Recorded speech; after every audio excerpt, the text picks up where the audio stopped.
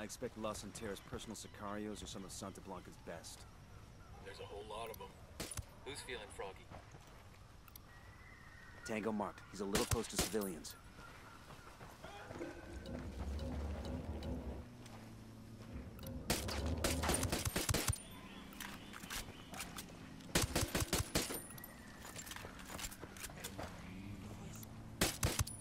Marking target. Watch the background.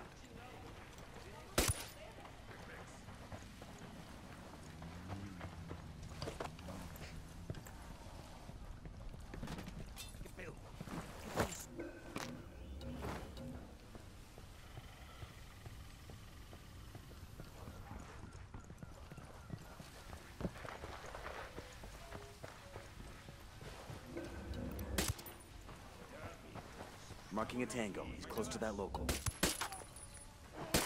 Bowman, we just traded gunshots with a bunch of thick-skinned sicarios here in Espiritu Santo.